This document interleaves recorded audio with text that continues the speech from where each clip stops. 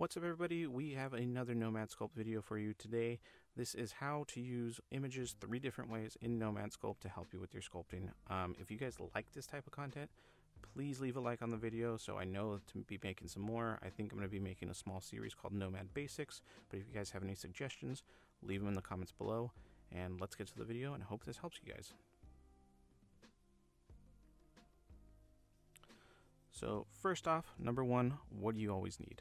Reference images. To get to that, you go into your backgrounds menu and right uh, on the second tier, you're going to see reference images right there. There's a checkbox that you can just turn it on and uh, turn it off if you want to. As you can see, I already have tons of reference images inside of my Nomad Sculpt uh, program. There's a bunch of different options and settings.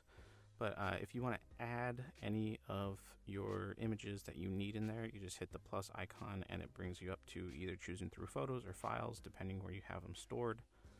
So go inside, select what folder you have. I'm picking a silly portrait of myself that me and my family were doing one day when we were just having fun taking uh, funny faced portraits of ourselves.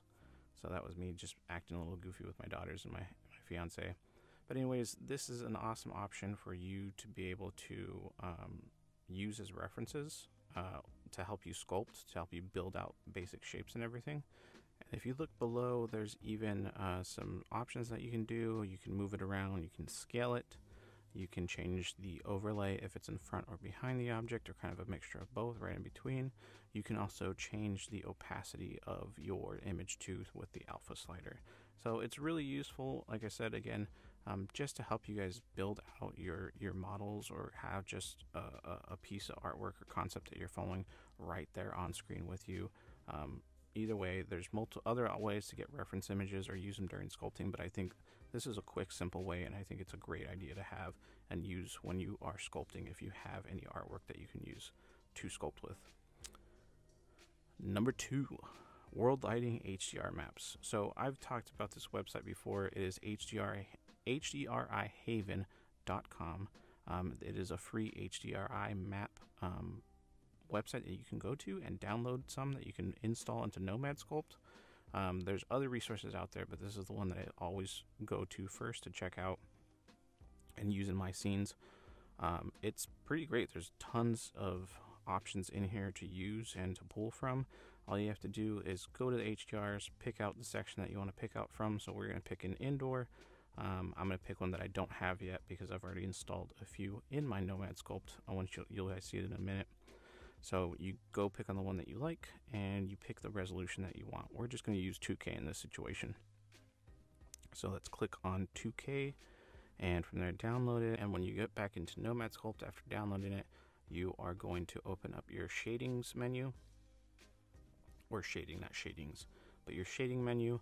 And that is going to ask between PBR and matcaps. You want to make sure you are in PBR so that it works. So um, now we are in PBR and you can see the environment map or the HDRI map. I have a few extra in there that you guys probably don't have because I've already installed a few. But if you want to add another, just like adding references, you click the plus button or the plus icon and that'll bring you to selecting where your file is at. So let's go to our downloads. You'll see the HDRI map uh, Peppermint Power Plant and that'll pop right in and it changes your world lighting for you. HDRIs do not give you like full on shadows, but it's a good base lighting for your scene to have. So now with the new lighting system inside of Nomad Sculpt, you can really get a nice render. I mean, surprisingly on the iPad. Um, but yeah, that's number two, using uh, HDRI maps and um, understanding how powerful they are to make your sculpts and renders look uh, really nice inside of Nomad Sculpt. Give you some good beauty renders in here, straight out of the iPad. It's great. And last but not least, number three, detailing models using alpha maps. So we are here on the Pixologic website and they have a great alpha resource library. I mean, you can really use any black and white image um, to use, do as a stamp or anything like that, but uh, ZBrush or Pixologic has a very vast library. Uh, so we're going to go into the skin section and just pick something out out of the skins to use on um, the simple model inside of Nomad Sculpt on the sphere. Um, so once you go ahead and decide which one you want and you download it, it is going to come into a zip file. Go ahead in your downloads folder and unzip it or uncompress it. It'll pull out the, um, the alpha map for you.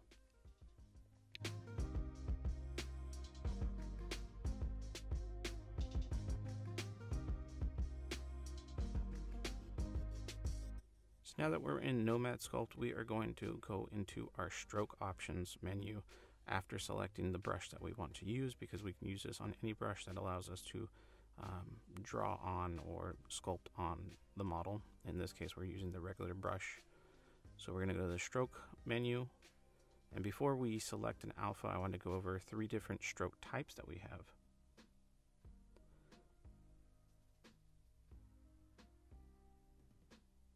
We have dot, we have grab radius, which is scaling it out, and then we have grab dynamic intensity.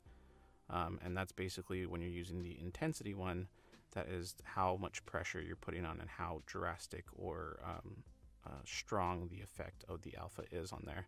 But for radius, I prefer to use that because that's allowing you to scale at one intensity. Um, so it gives you a little bit more control when you need to or when you want to. So now we're going to go into the alpha section.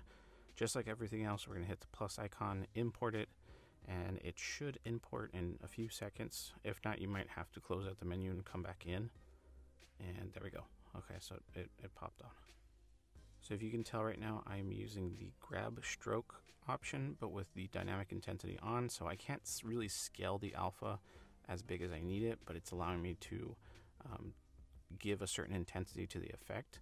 Again, I prefer to use the grab um, radius or dynamic radius, and that allows me to actually scale the alpha map uh, as big or small that I need it on the model. Um, and again, this allows you, you just need to adjust the intensity bar um, on the left hand side, and that'll allow you to soften the effect or make the effect harsher.